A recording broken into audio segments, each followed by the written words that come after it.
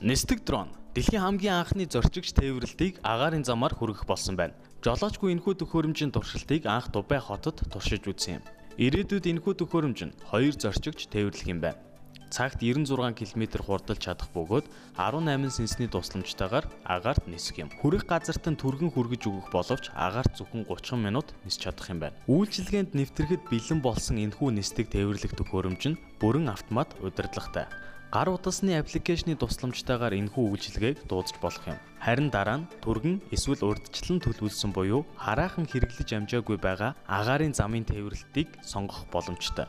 Ирээдүйд Дубай хот дэвшилтэд технологид хөрөнгө оруулж байгаа нь тодорхой болоод байгаа юм. Тун удахгүй Дубай хот дэлхийн хамгийн шилдэг бүрэн автомат тээвэрлэлтийн үйлчилгээгээр дэлхийг тэргүүлэх юм.